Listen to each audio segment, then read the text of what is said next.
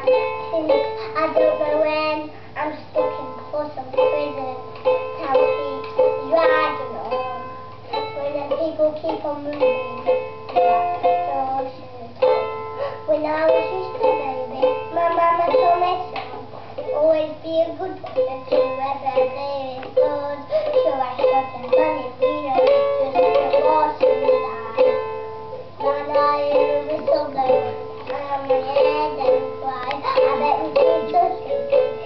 in a fancy car. We're probably drinking coffee and smoking big cigars. Well, I knew I had it coming.